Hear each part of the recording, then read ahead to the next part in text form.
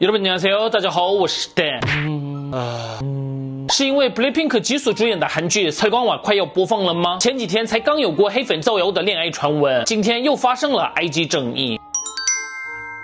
昨天在韩国很多论坛同时出现了一个标题为“合约到期就毫不留情”的贴文，内容是在说 BLACKPINK 之前有代言三星的手机，但是与三星的合约到期后，成员们就毫不留情的都换成 iPhone 手机，然后也附上了成员们使用 iPhone 自拍后上传的照片，然后强烈的指责。十月十号，基础在 IG 上传照片后留言：“哇哦，终于换了 New Phone Q Case。”网友表示，这留言是指终于从三星手机换成 iPhone 手机了，表示基础非常没有义气。因为同时在很多论坛出现了这样的争议，很快就有记者将这个。争议报道成新闻，结果还登上了热搜一位。但其实，BLACKPINK 代言的三星 A 八零手机是在二零一九年七月签订合约，二零二零年八月合约就到期了，距离现在都已经过了一年多。所以，基础那句“终于换了 New Phone Cute Case”，非常有可能是在说终于拿到了现在非常缺货的 iPhone 十三，或者是这个手机壳。实际上，基础也是 tag 了手机壳厂商。我们来看一下韩国网友们的反应：明明都已经 tag 了手机壳，却造谣成是从三星手机换成苹果手机了。不是，他之前开始就使用了 iPhone 呢？合约到期都过了一年多，那代言一次。的话，这辈子都要使用那一个品牌吗？昨天十二点之前，这个新闻的点赞数是两千左右，一个晚上变成了五千。这个时间，正常的上班族跟学生都为了上班、上学、睡觉，一看就是造假，太不像话了。现在粉丝变多了，还可以这样防御，真的从几年前开始，这些黑粉就拼命的组织性的造谣，令人无法理解。别的男团也是被这样搞过，太可怕了，这是为了什么？但是也有网友表示，使用什么手机是你的自由，但是 BLACKPINK 成员们也不是一两次，有必要在影响力很大的 SNS 上传手机照片给竞争公司宣宣传吗？就算没有义气，也要会看点眼色。吧。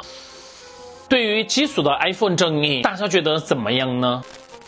下一个消息是，美国歌手 Oliver Tree 去年为了宣传自己的演唱会，上传了恶搞的宣传照，但是很快就被 K-pop 粉丝们发现，竟然是使用了 Chinese 囧人的遗照，把照片换成了他自己，也修改了十字架排位等，让粉丝们都非常愤怒。虽然在那个时候，因为遭到 K-pop 粉丝们的强烈指责，他有迅速下架照片，但是他却也嘲讽过指责他的人是 K-pop 极端粉丝们。但是最近，因为他的 Life Goes On 歌曲在抖音非常火，也刚发表了新曲，所以粉丝们就挖出这张照片，再次要求他道歉。结果在前几天，他在 IG 现实动态上传了道歉文，内容简单整理一下，就是想要对因为琼恩的照片而伤心的所有人道歉。这照片不是我制作的，我跟我的团队都不知道这张照片的来源。如果我们知道了，就绝对不会上传这张照片的。是因为有人告诉我们，所以就马上删除了。我们上传那张照片的理由，是因为我们正在准备有关死亡的专辑以及演唱会。我中学的时候，我的亲戚进入脑死状态，我从那个时候就开始沉迷于死亡了。当时没能理解到事情的严重性，再次道歉，因为失误而让大家伤心的部分。